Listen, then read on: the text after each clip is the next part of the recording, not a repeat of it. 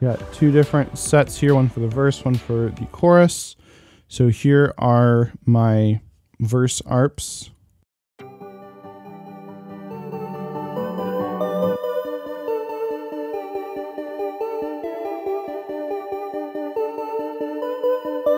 So this is what they look like, and they're just jumping back and forth. I kind of got my root note in the bottom.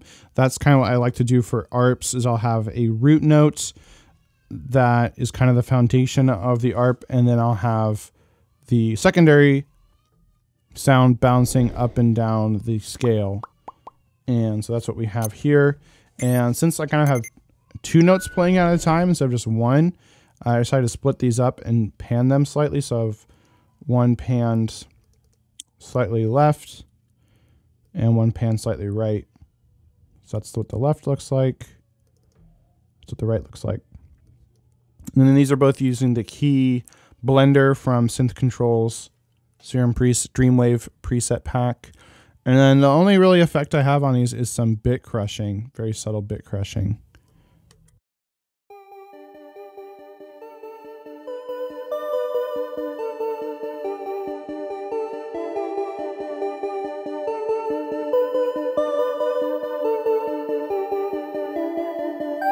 So adds a little extra grittiness. You hear it more when it goes up up an octave here.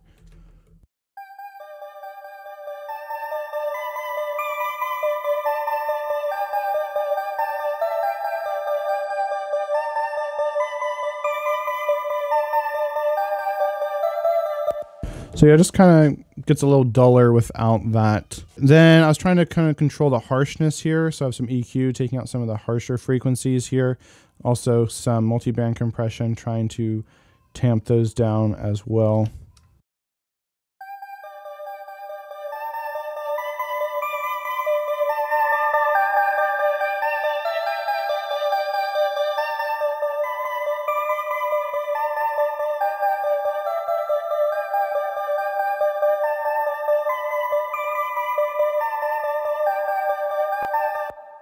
And I also have a little bit playing here as kind of help transition from the pre-chorus to the chorus.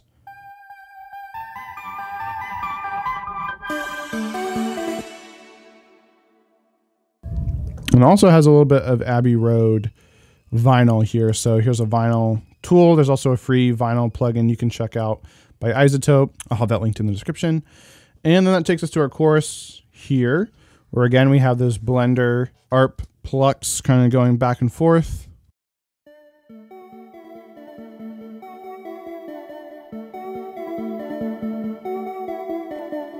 And then they also, I added in this Syntronik sound, which is Pizzicato Angel here by Syntronik. And so that altogether sounds like this.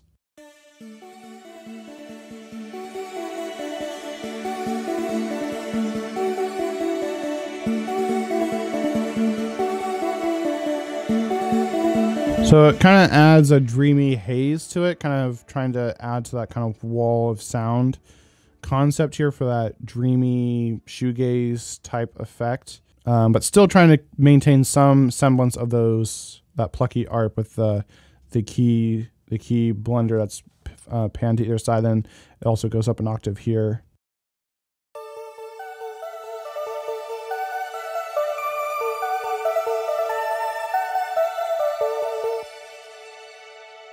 And that's it all the way through. So that is it for the ARP. Not a lot of effects on these. Again, just kind of controlling the harshness and a little bit of bit crushing. That is it. If you found this video helpful, be sure to send that like button back to the upside down like you're 11 attacking a Demogorgon. Otherwise, if you want more help creating synthwave music, then be sure to click the video playing on the screen right now. This includes my full in-depth tutorial on creating synthwave music start to finish. And as always, have an awesome day. Keep creating.